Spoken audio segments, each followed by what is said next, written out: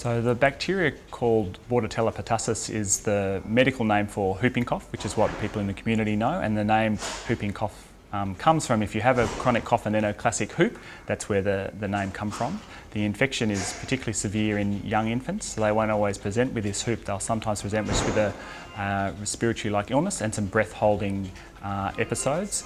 Older children may present with a bit more of a chronic cough um, and sometimes some complications of, of being unwell with the, with the chest, in, uh, chest infection.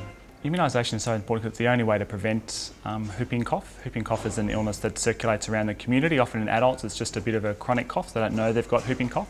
When small babies get whooping cough they may, at times I mentioned, have breath holding and uh, if they're a little bit older have a classic whoop, which is where the name whooping cough comes from. And by immunising them at the age of six weeks, four months and six months, we know we can give them some protection from getting more severe whooping cough.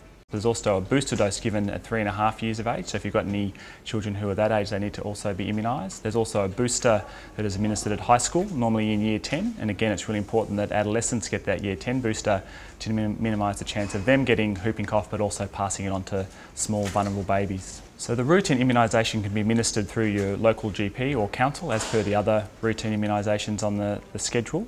Um, if you're in the hospital, the immunisations can be administered at our RCH Immunisation Drop-In Centre, which is a nurse-led centre with excellent expertise in administering the immunisation.